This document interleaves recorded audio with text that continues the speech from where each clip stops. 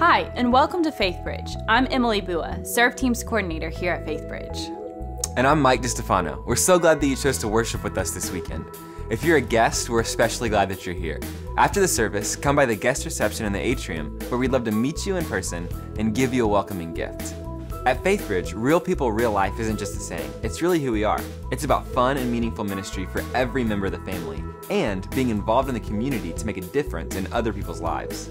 We're so excited about Celebrate Freedom, our annual 4th of July community wide celebration this Thursday.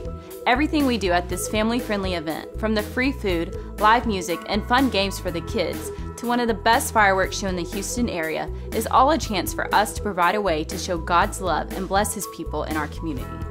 We've seen hundreds of families come to know the Lord and grow in their faith as they get plugged into our church body because of their first visit to celebrate freedom.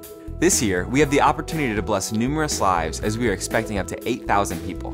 We provide plenty of off-site parking at Klein and Klein Collins High School so that the entire campus is available for the Celebrate Freedom activities. We encourage all FaithBridge regular attenders to park at Klein Collins High School and ride the air-conditioned buses to FaithBridge. Let's strive to be good neighbors by keeping the streets and yards of the homes located near the church property free from traffic. Let me say thank you to the hundreds of you who have committed to serve at Celebrate Freedom.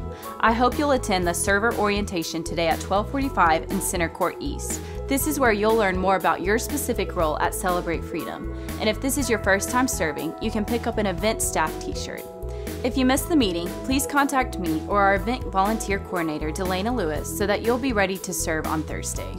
Whether you're a guest today or you've been coming for a while, we want to know you are here and how to pray for you. If you didn't use the self check in today, let me encourage you to complete and turn in a Connect card and a prayer card. If you missed dropping these cards in the giving basket, you can place them in one of the metal offering boxes in the back of Center Court on your way out today. Let's now welcome back one of our regular Bible teachers and director of Breakaway Student Ministries in College Station, Ben Stewart.